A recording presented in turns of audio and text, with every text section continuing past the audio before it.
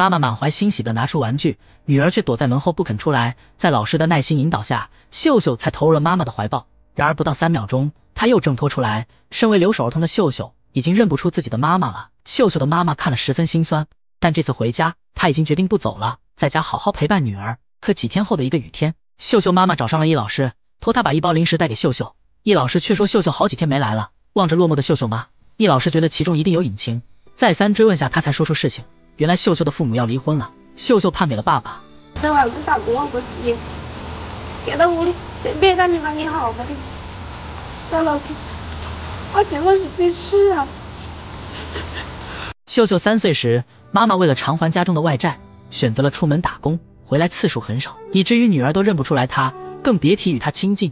本以为这次回家能三口团聚，可却落得这样的结局。易老师听了很是不忍，立马就找到了秀秀家，决定劝说一下秀秀吧。可男人的态度十分坚决，离婚已经没有回转的余地。不过好说歹说，爸爸还是答应了让秀秀见妈妈最后一面。第二天，秀秀妈决定继续出门打工。易老师抱着秀秀送别妈妈，可惜再三引导，秀秀也不肯叫一声妈妈。见到妈妈上了车，秀秀也全无不舍之意。易老师抱着她良久，直到汽车渐行渐远，再也看不到踪迹。这边是刚忙完，幼儿园又出了事。村里干部找上门来说，易老师的幼儿园不符合开办规定。一个是幼儿园老师没有幼师资格证，再是接送小孩要专车，不能用简陋的板车了。易老师问了专车价格，四五万的价格简直是天方夜谭。没办法，幼儿园只能宣布停办。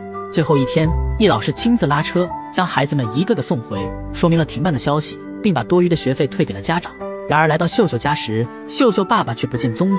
问了伯母才知道，不久前爸爸也出门打工去了，将孩子托给哥嫂一家照顾。一听幼儿园要停办，伯母不乐意了。白天谁也没空带小孩，看着夫妻俩因为秀秀吵了嘴，易老师也很无奈，拉起板车继续送。最后一个是坨坨家，院子里只有一个盲眼的婆婆，坨坨跑过去打招呼，易老师也上前搭讪。看着照顾自己都困难的婆婆，她说不出口幼儿园停办的话，半晌又将坨坨抱上了车。路上看到独自一人坐在门口的秀秀，易老师停下了驾车。两个孩子又重新回到了车上，易老师决定替他们的父母承担起养育的责任。路上，天真的秀秀问老师：“那边我爸爸是哪里的？去打工去的。去哪里打工？去新津打工去的。嗯，新津是南方的。南方的。南方啊，南方村。易老师犹豫着，带着孩子们爬上山坡，望着远处模糊的山影。说你们一起往南走，一起往南走。在天边的那些地方才是新津。爸爸妈妈求求你，你打工。嗯，求你打工。